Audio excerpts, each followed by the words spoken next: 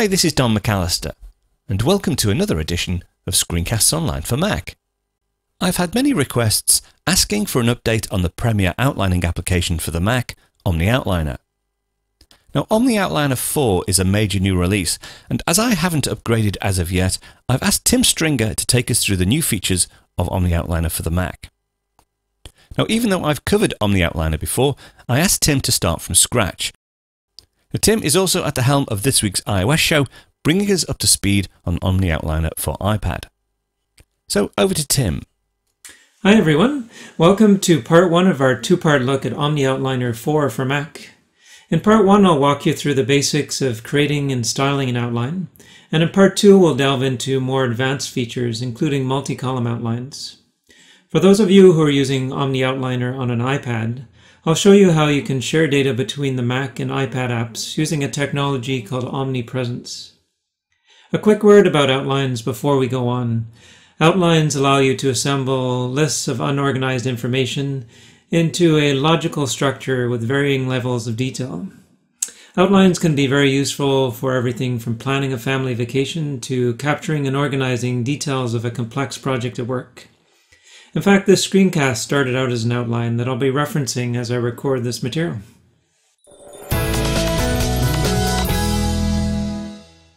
To begin with, we'll go to the Omni Group's website, which is at omnigroup.com.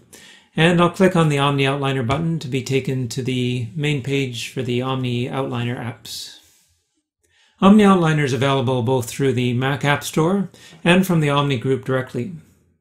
One note, before you install the software, you'll need to make sure you have at least macOS 10.9 Mavericks installed, because Omni Outliner won't work with earlier versions of the macOS. I'll go ahead and download Omni Outliner directly from the Omni Group's website by clicking the Download Pro Standard button. If you don't already have Omni Outliner installed and licensed, this will give you an opportunity to try out the software for 14 days. And at that point, you can choose to either purchase the software directly from the Omni Group or to purchase it from the Mac App Store. Now, it looks like the software is downloaded. I'm going to go up to the Download Manager and I'll choose the Omni Outliner disk image, agree to the license agreement, and then install Omni Outliner by dragging the app into the Applications folder. The first time you launch Omni Outliner, a document called Welcome will load automatically.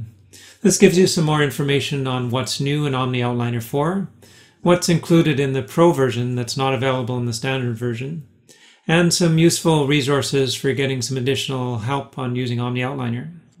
If you want to see more information on what's new in Omni Outliner 4, Click on the disclosure triangle to the left of what's new, and this will reveal those details. If you want to hide the details, you can collapse this view by clicking the disclosure triangle again. Similarly, if you want to see what the differences are between the standard version and the pro versions of Omni Outliner, you can click on this disclosure triangle and then click it again to, to hide that information. We'll be focusing mainly on the standard features of Omni Outliner, but I will touch on some of the pro features in part two.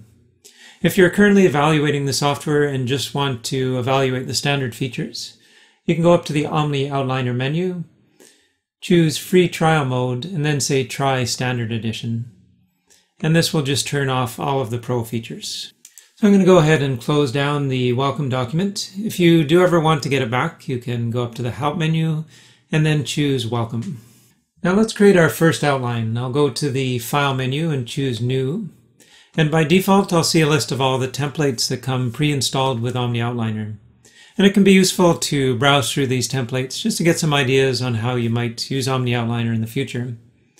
Over on the left sidebar, I can also get to a list of recent documents.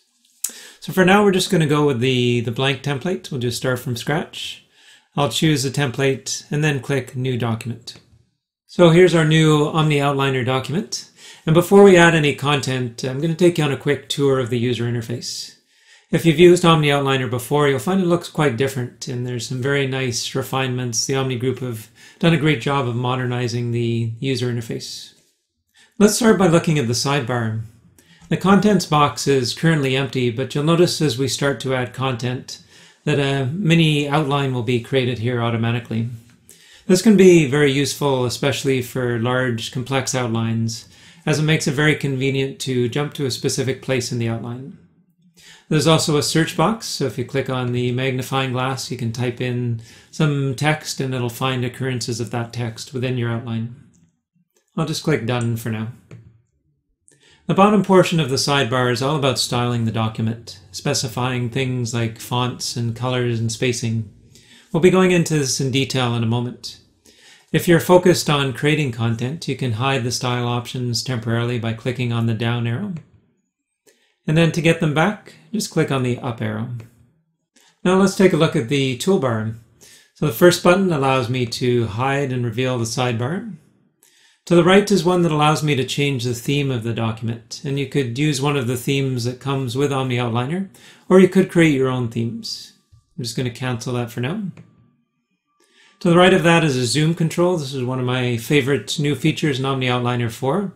So it allows you to change the zoom level of the document without actually having to change any of the fonts. So if you click on that, you can make it smaller, see more on screen, or you can make it quite, quite large as well. Over to the right, there's a microphone icon, and uh, if you click on that, it'll actually start to do a voice recording, so you can insert a voice recording right into your outline. Over to the right of that is a button that allows you to add a column to your outline, and we'll be looking at columns in more detail in part two. And then finally, the I button allows you to show the inspector, and if you click it again, it'll hide the inspector. And we'll be looking at the inspector in more detail in just a moment. Now let's start adding some content. To give a specific scenario to work with, let's say you're getting ready to launch a new company and you need a website to showcase your services. You maybe have a lot of ideas of what information needs to be included on the website, but it might not be very clear how to organize it. So one simple way to start out would be just to kind of do a brain dump, start to to uh, type in the various information that needs to be included in the website without worrying too much about how it's going to be organized and so forth. So let's see, so we probably want, we definitely want to have a, a blog on our website. We're going to want to have an about about us uh, section of some sort. Uh, we want people to be able to get in touch with us, so we're going to add a, um, a contact section. I uh, will definitely want to include some information on the services we provide. Uh, and those services, let's say they include uh, graphics design and technical services. Technical services. And then um, let's see what else. We probably want some information on our team members. Let's say there's um, three of us in the team. There's uh, Mary, John, and Charles. So we'll want some sort of a bio for each member in the team. And it just popped into my mind that uh, it'd be great to have a contact form on the website. And maybe a map as well, just showing the company location. So now we have a list of some of the things that we want to include on our website. And sometimes you may just use Omni Outliner to create lists. Maybe there's a packing list uh, for a trip. Maybe there's a checklist of things you need to take care of in your home before you leave on vacation. But in this case, we'll probably have quite a few items, and it makes sense to group them together logically so we can kind of see how things are arranged, start to come up with a sitemap, and also be able to just focus in on one area so we're not overwhelmed trying to work on the whole site all at once. So I'm looking at this list and I see some things that can logically be grouped together. So we've got a contact section, which is a pretty general classification. And we also have some more specific things on the list, including the contact form and a map showing the company location. So what I'm going to do is click and drag on the bullet to the left of the contact form. And then I'm going to drag this item right on top of contact. And you'll notice the disclosure triangle appears. And if I click on that, I see contact form as a second level item with the contact as what's called the parent item. And I'm going to do the same thing with the map. So I'll click and drag on the bullet, drop it on top of contact. And now I've got two child items under that parent item of contact.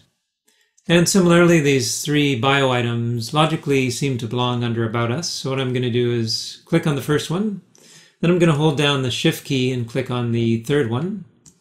And then all at once I can just grab one of the bullets here and then drop it up to About Us.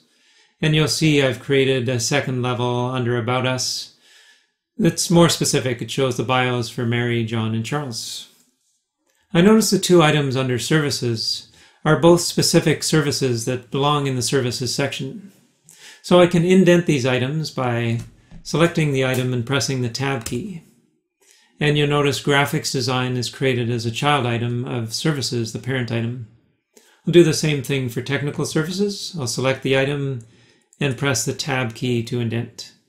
Now I can easily add another child item to services by pressing the return or enter key. And I'll add consulting services. Then it just popped into my mind that I haven't added the, the home page of the website. I want to make sure that I'm tracking that through my outline. So I can press return, and I'll type home.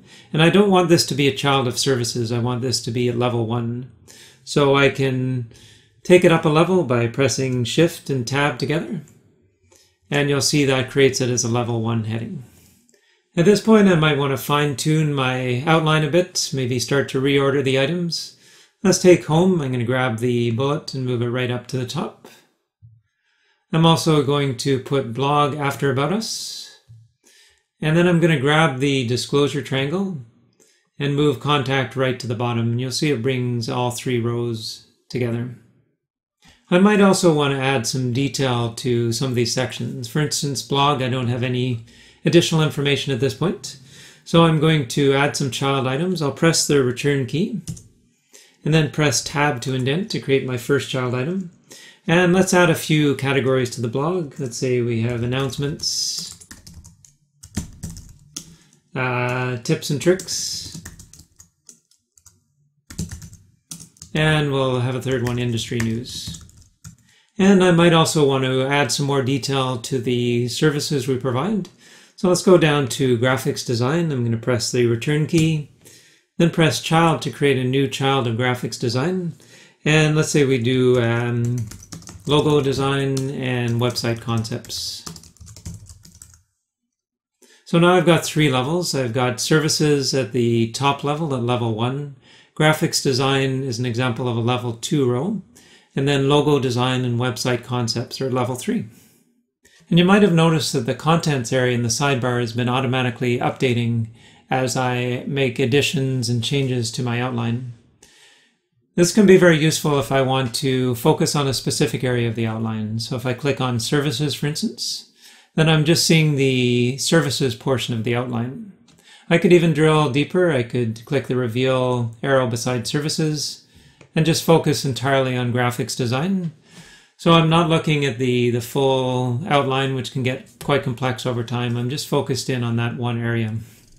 At any point, I could go back to looking at the full outline by clicking on Contents. If I just wanted to see the top level items, I can go up to the View menu and choose collapse all. Then I can just expand the sections that I'm interested in.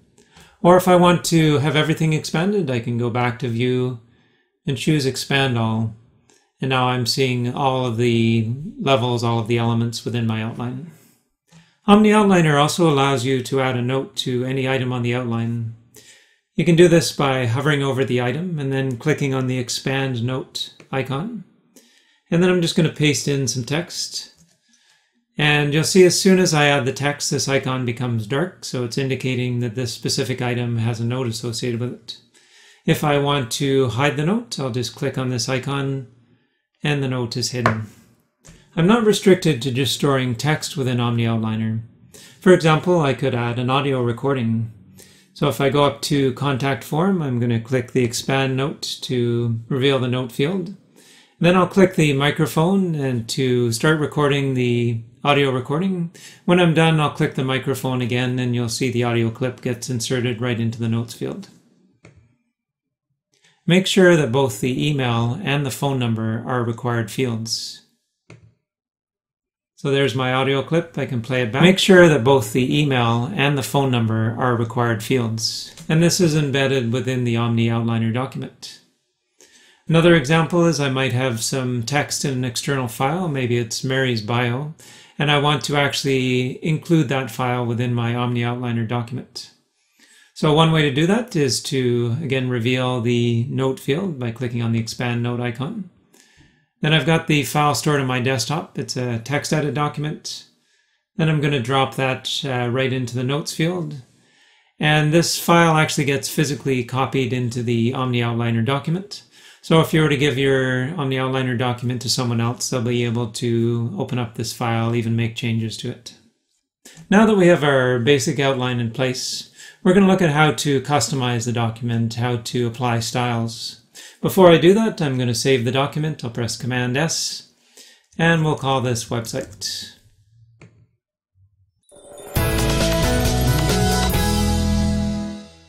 This has been a shortened version of the full tutorial, and if you'd like to learn more about Omni Outliner 4, we'd like to send you the full version of this tutorial completely for free.